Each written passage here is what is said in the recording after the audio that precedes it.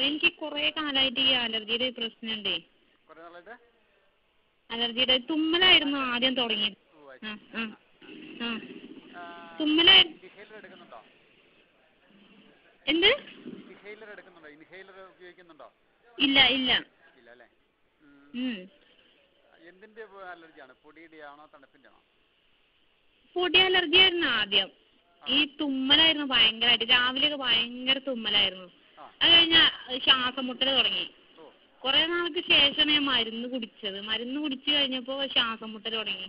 അതിന് മരുന്ന് കുടിച്ചപ്പോ തുമ്മൽ കുറെയൊക്കെ കുറവായി. പക്ഷെ ഇപ്പൊ തൊലി തൊലിക്ക് ഭയങ്കര ചൊറിച്ചിൽ ദേഹം ആ സകലം ഭയങ്കര ചൊറിച്ചിലാണ്.